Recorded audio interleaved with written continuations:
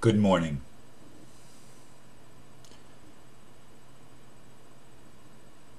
What I felt to do this morning,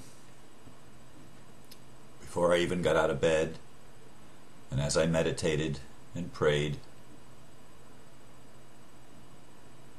is to ask for your help.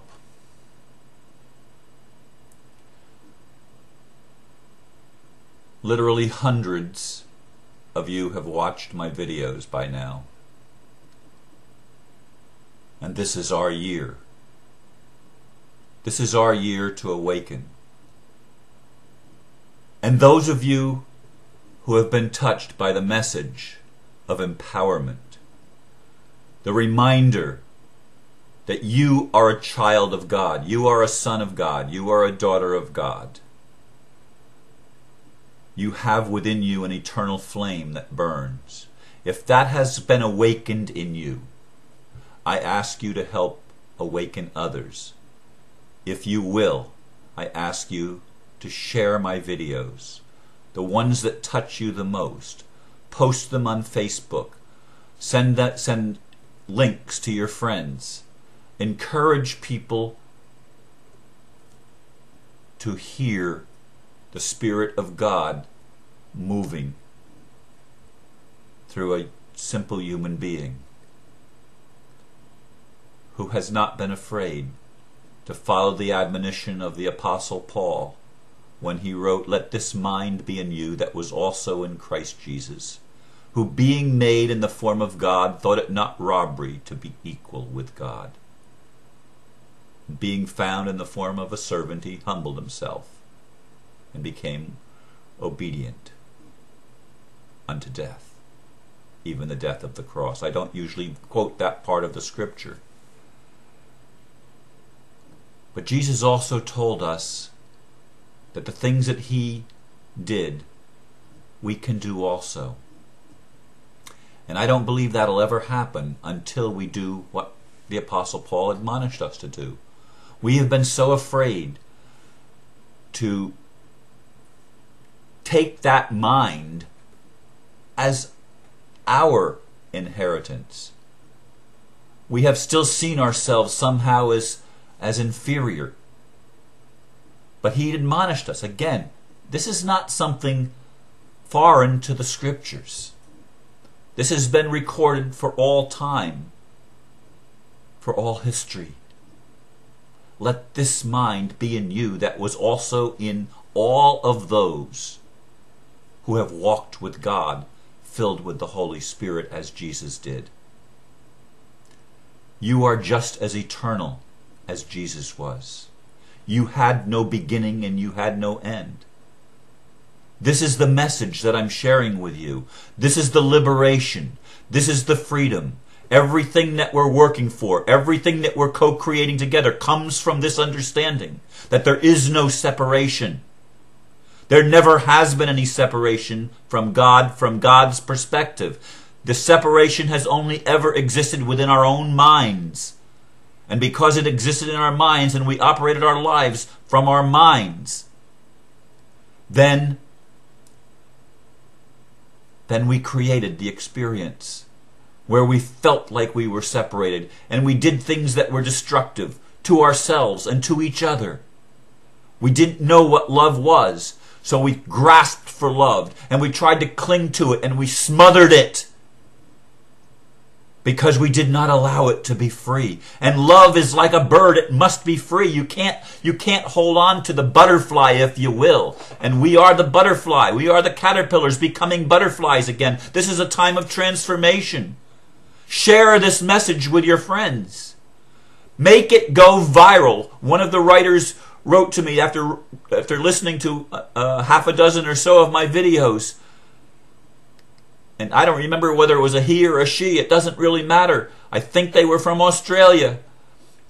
But this person said you should have 15 million viewers. Let's wake people up. That's my mission is to remind you of who you are. It's not to tell you who I am.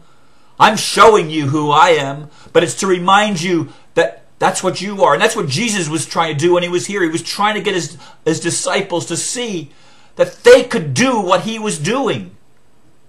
that they were empowered, but we cannot be empowered as long as we see separation. As long as we see people as somehow outside of God, then that's what we're going to experience. We're going to experience that alienation because we're carrying it with us. We're carrying it with us in our minds, and we have not yet opened our hearts enough to let that eternal flame of Christ that's in us burn through us and burn away the scales that are on people's eyes and the scales that are over people's hearts and minds and lives.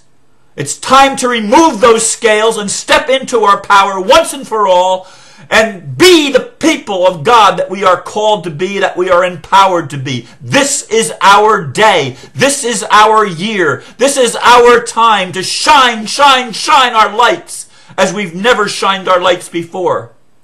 This is our time to step into our freedom, to step into our sovereignty as individuals, as, as families, as communities, as nations. This is our time to let this light become a mighty raging conflagration that burns away all the dross that's been in our world for, for eons of time, millenniums of time. This has been in our human culture. And our human culture has been, has been suppressed because we forgot who we were. This is the time to awaken and to remember and to put on the armor of God, which is not an armor that shields us from something, but it's an armor of love that protects us. We are clothed in the Holy Spirit. Let us walk into that newness of our nature. Our nature is not to sin. Our nature is to shine. That is our true nature as God created us, to shine in all of creation, to shine in every aspect of our lives, to shine in our business, to shine in our family, to shine in our in our community as we interact with others, to shine, shine, shine the light. This little light of mine, I'm going to let it shine. And stop focusing on the negative. Is there a devil? If you want there to be, there is. That's how it works, folks. What you look for, you're going to find. If you're looking for the devil, you're going to find the devil. But stop looking for the devil. I'm telling you, I'm imploring you, I'm asking for your help to stop looking for the devil. Let's get this message out that we start having to see. We have to start seeing Christ, the divine spirit, the eternal flame in every human being that we encounter. And it doesn't matter what they have done. There is forgiveness for everybody. Blanket amnesty, if you will, for everybody. We've all gone astray. We, each one of us, have tasted what it's like to feel and experience separation from God in our own consciousness. Now it's time to let that consciousness evaporate. Let it go. Release it. It is a lie. It is the lie that has created the world that we've been living in. And the truth that we are creating the world that we're going to be living in is the truth that we are one. And we have always been one. And only when we see that we are one and not disconnected but, but connected to everyone else can we have the love that is needed to transform the world. I ask you to share this message with your friends.